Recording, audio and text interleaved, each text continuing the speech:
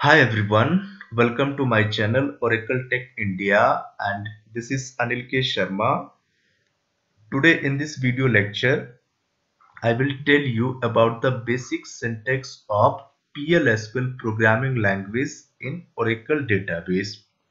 So before I start this video lecture, please subscribe my channel.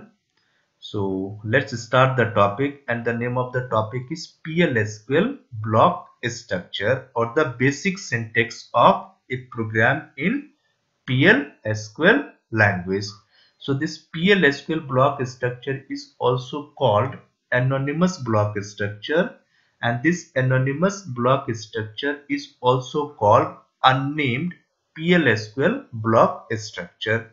So you can call it PL SQL block structure or anonymous block structure or unnamed PLSQL block structure. So as I have already told you in the previous video lecture that a program in PLSQL consists of a block and a block contains three sections.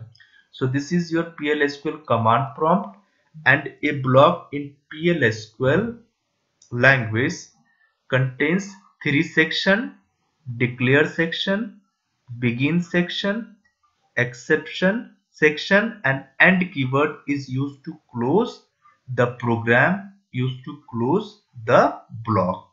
So this declare section is used to declare all the variables used throughout the program and this declare section is optional.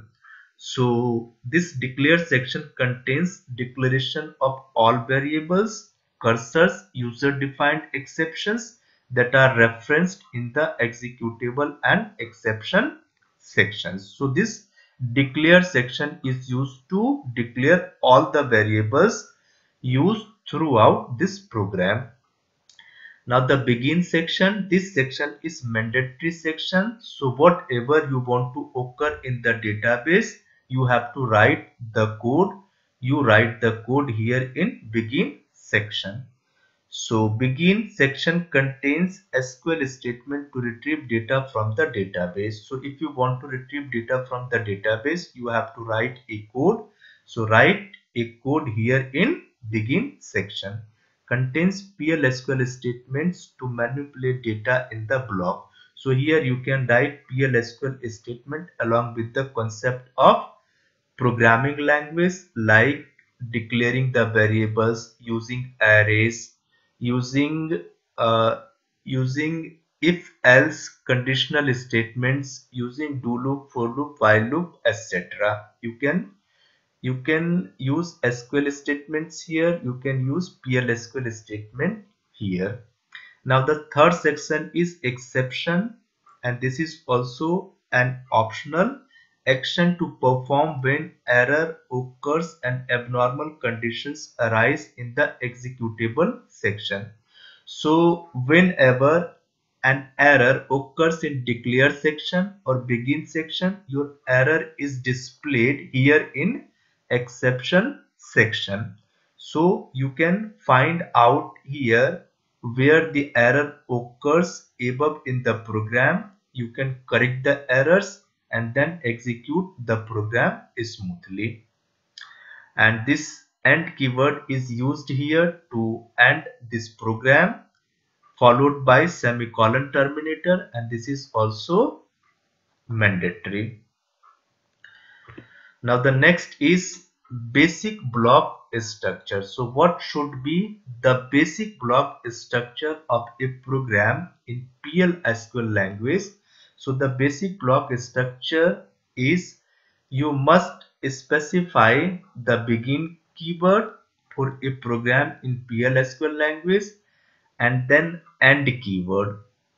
And in between begin and end keyword you have to give a valid statement for the database or you have to write here a code for the database to occur and this forward slash is used to execute this small program. So whenever you execute your program in PLSQL language, you have to uh, write this forward slash and then press enter. Your program will be executed.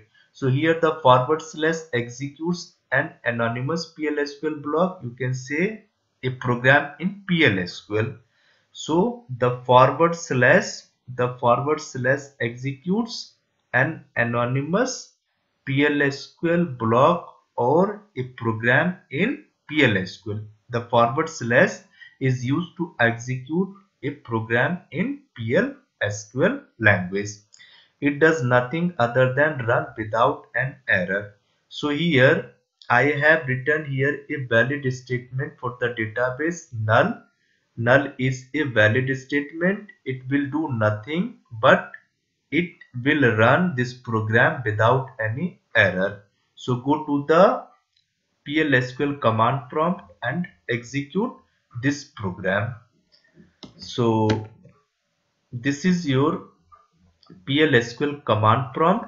Here I will write a program. So I write here begin and then I give here a a valid statement for the database to occur. So null and any statement in PLSQL is ended by putting semicolon terminator sign. So I have ended this statement by putting semicolon and then and semicolon and forward slash is used to execute this program. So I have I have put here forward slash. Now I press enter. This program will be executed. So now the program is successfully completed. So PLSQL procedure successfully completed. Clear? This screen. Clear SCR now the next is a block without an execution statement raises an exception because PLSQL does not support an empty block. For example, this unnamed block fails. So here I have specified begin keyword and keyword but in between them I have not mentioned any valid statement for the database. I have not written any coding here in between these two keywords. So that is why this program is an empty program or this is this is an this is a uh, this is an empty block. So when i execute this program this will give an error. So go to the plsql command prompt and execute this program also. This program will give error. So i write here begin I do not specify any coding here. I just end the program by putting end keyword semicolon forward slash enter. Now this has given an error because this is an empty block. This is an empty program. I just clear this screen, clear SCR. so now the next now the next is server output on. So this server output on variable actually it is an important variable. So you have to keep this server output on whenever you execute any program in PLSQL unless or until you enable this server output on your your uh, your result will not be displayed to you. So you must enable the SQL*Plus server output environment variable to print content to the console. So if you want to display any result to the console you have to enable this server output on. The server output environment variable can take a physical size. It can it can take a physical size. You can allocate the size from uh, 2000 bytes to 10 lakh bytes or the unlimited keyword. Or you can also put unlimited keyword but it is recommended that you use the unlimited size keyword. So it is recommended here that you put unlimited keyword unlimited keyword.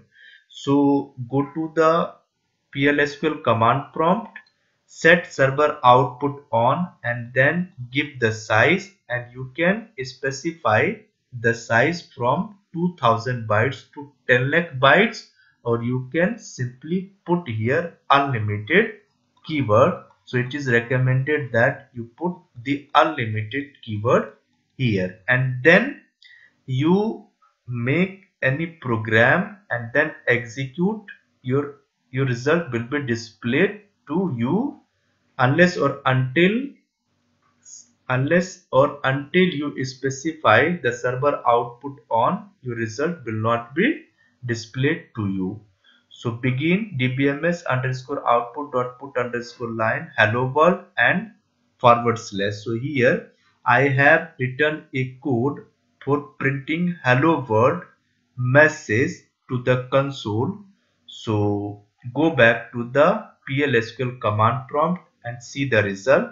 So here let us have a look here uh, the dbms underscore output dot put underscore line function prints a line of output so dbms underscore output dot put underscore line function prints a line of output it actually prints the message. All declarations, statements and blocks are terminated by a semicolon. So all the valid statements in PLSQL is ended by putting the semicolon a terminator sign. So go back to the PLSQL command prompt and then do the demo. So here I write a program begin dbms underscore out put dot put put underscore line and then bracket single quotation hello world hello world terminator sign semicolon and forward slash enter now this program is successfully executed but the message hello world is not displayed to you because I have not enabled here server output on. So for displaying the message you have to enable server output on. So right here set server output on and size unlimited keyword size unlimited keyword enter. Now now i have enabled the server output on. Now i write the same program and the hello world message will be displayed to you. So begin dbms underscore output dot put underscore line and uh,